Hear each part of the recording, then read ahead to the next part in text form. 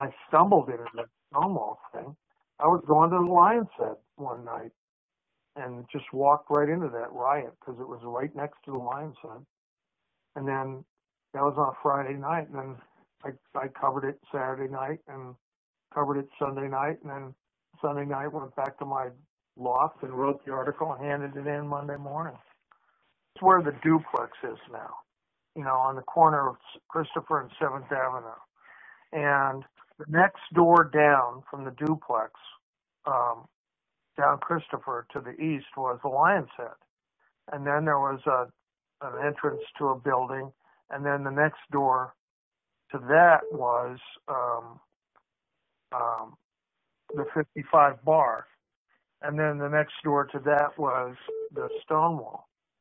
So, um, so the you know, so the Lion's Head was where Village Voice writers and all kinds of writers went to drink, you know, and um, and I I discovered that while I was still a cadet, and then when I got to when I was living there in that summer of '69, that's where I went in the evenings, you know. So I was walking over there one night, and from my loft, and uh, I went by the Northern Dispensary. I was coming up from downtown, and I turned off of Waverly Place, turned left on Christopher, and right there in front of me was a large crowd of people and a couple of cop cars, and um, and things were just getting started. They had just, you know, they had just busted the place.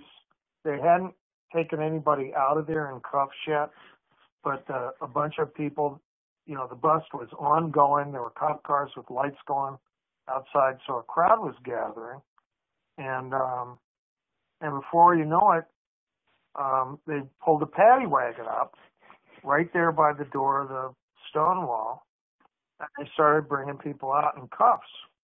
And and they were manhandling them and being rough with them, and the crowd started yelling, you know, "Fuck you, cops!" and you know, "Hey, lay off of that guy!" and and um, and the people that were coming out of the out of the bar were gay people that had, that were getting arrested, and they knew people in the crowd, so they were yelling at people in the crowd, and and the crowd started getting stirred up, and um, and I was standing there watching, and somebody th- threw a handful of pennies at the cops, and all of a sudden everybody reached in their pocket and started grabbing change and throwing pennies, and they were yelling at the cops and you know and saying, you know, you're not worth two cents, and you know, and then they then they brought out this drag queen who it turned out was I think that's Marsha. Um, she she died recently, Marsha Johnson, and um, and they brought her out in cuffs and and so she stopped in the on the street just short of the of the paddy wagon and struck a pose, you know, like put her leg out and like posed, and she was calling out to people and somebody said, you know, uh, you know, she she said, you know, come down to the tombs and bail me out. And somebody said, you know, okay, honey, don't worry. And and this cop pushed her, and she turned around the cop and said, hey, give me a minute. And the guy took a nightstick and stuck it in her back and really shoved her right into the back of the paddy wagon, and that was it. That was the thing that set it off. And you know, people started rushing the paddy wagon. The cops, you know, shoved her in and slammed the door, and the paddy wagon drove off, and the cops retreated back into the Stonewall. And then the next thing I knew, somebody had picked up a paving stone, threw it through the window, and uh, more and more people showed up, and you know, and it was a and it was a riot. It was a small one. There was only about a hundred people, but it was enough to stop traffic, and and they were throwing things and screaming and yelling and and uh I was standing it got crowded enough that I went over to where the 55 entrance was and there was a, a stairway there that went up into the apartments above and their garbage cans were out there so I got up and was standing on one of these garbage cans to see you know and uh and one of the guys that was rioting came up and grabbed the garbage can by the handle and tried to pull it out from underneath me. And I had, I yelled at him and said, "Go get out of the fucking garbage can! I'm standing on this one." So he went and found another one and threw it through the window. You know, and uh, and that was it. You know, and it was. uh But I'll tell you a real funny Village Voice story. Saturday night, you know, Howard Howard Smith was there that night, and I saw Howard, and he saw me, and Howard went up into the voice office. He had a key, and he got the voice had a couple police press passes, and they kept them, I think, in Wolf's office. So he went up into Wolf's office and got one police press pass for me and one for him. So we had passes that we could hold up, you know. And so Howard was Howard had gone into the Stonewall to uh, talk to the cops and see what was going on. I was outside, he was inside, and so he got blocked in there when the cops closed the door, called for reinforcements, and all the shit was going on. And somebody lit some newspaper, threw it in the window, um, in the front of the window. The window had a piece of plywood. It had a glass window. It said Stonewall on it, and then there was plywood inside, and that was very typical gay bars back then. Um, you know, people that went to gay bars didn't want to be seen, so they would block the windows.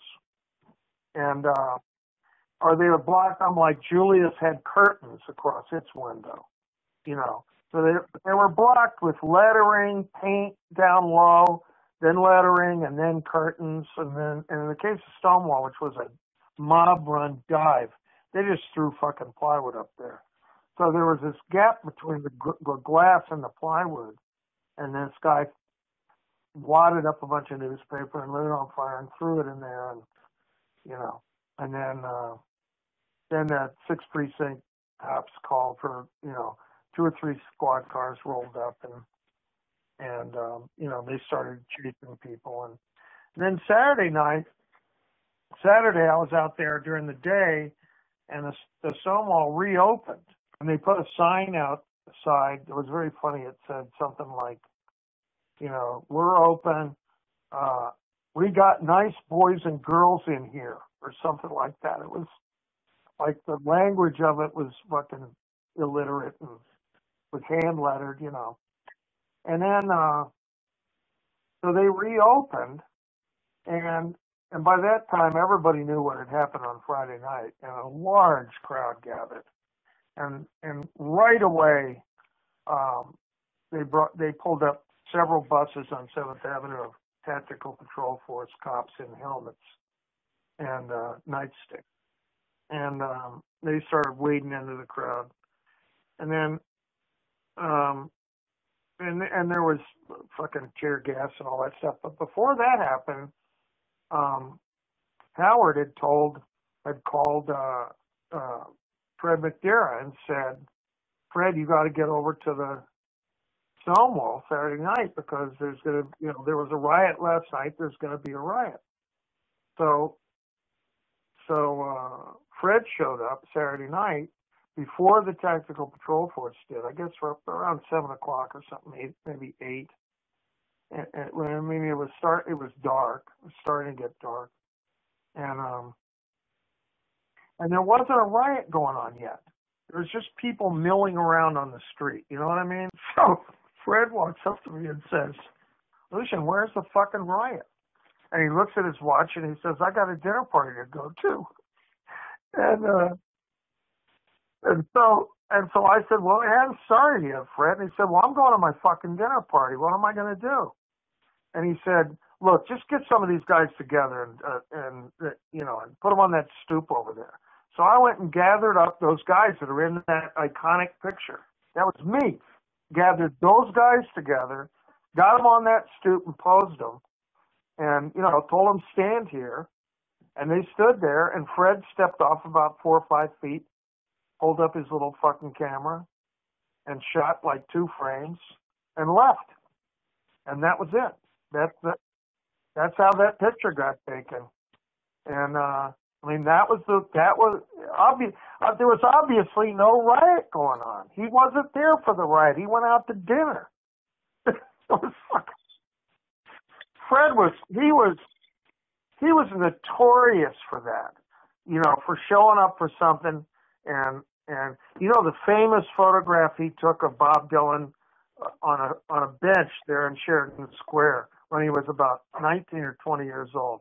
Somebody told me once that Fred showed up for that shoot right about the time Dylan's first album came out and took like two frames and just walked away. And that was it. He was a fr- he was famous for being parsimonious with his film. And uh you know, he only took one or two pictures. And he took that picture of those guys on the stoop and left and went out to dinner. And I stayed and went to the riot.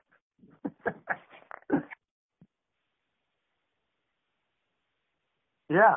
Yeah, the riot happened after that. And uh he didn't tell me where he was going and he wouldn't have known the number of the place where he was going or anything else, you know. I mean, once he walked away, he was gone. And, uh, you know, so I didn't have his phone number at home. Howard had that. And Howard wasn't there on Saturday night. Or if he was, he was on the fringes. I didn't see him. And there were no other reporters there. The Daily News apparently had somebody, or maybe they just used a rewrite man and somebody called in to them and said there was a riot and they just took the call on the phone. They they published a little squib about two inches long on uh, Sunday, I think, or Monday, and that was it.